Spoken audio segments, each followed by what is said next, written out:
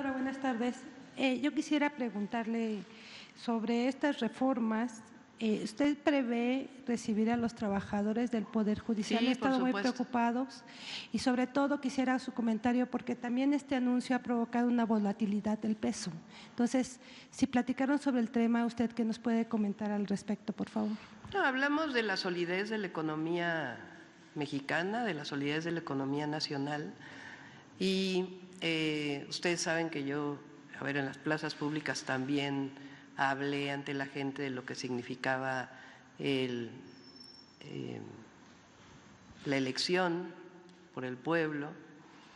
Eh, pero creo que es importante que se abra este proceso de diálogo abierto, que se conozca bien la reforma, muchas veces muchos no la conocen completa, y que se discuta sobre el tema. Siempre ayuda esta, eh, esta discusión, esta apertura, este diálogo. ¿No hay preocupación entonces por la volatilidad del peso?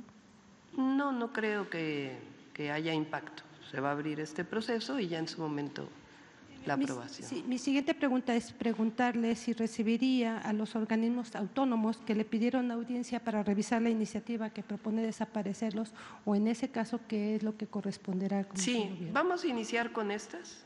Eh, por supuesto, también está el que la pensión adulto mayor se incorpora en la Constitución desde los 65 años, porque hoy está desde los 68, y ya vamos a ir viendo las otras reformas que planteó el presidente.